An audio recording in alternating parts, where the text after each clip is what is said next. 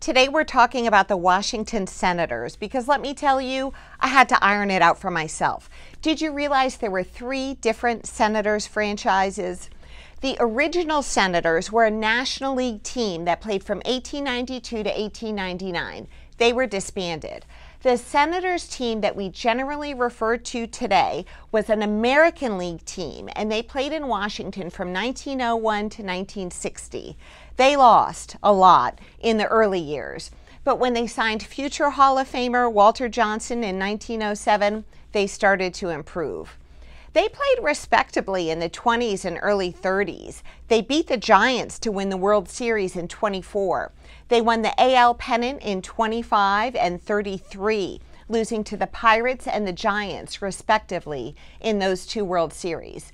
Then their record and their attendance both slipped. In 1960, the Senators moved to Minnesota and became the Twins.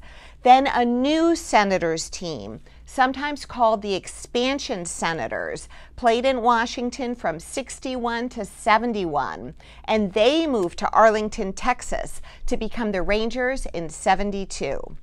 Baseball would return to Washington in 2005 when the Montreal Expos became the Nationals. The Senators, a perennial punchline, were memorialized in a famous quote by San Francisco columnist Charlie Dryden. He said, Washington, first in war, first in peace, and last in the American League. I'm Kelley Franco Troop, and that's your three inning minute.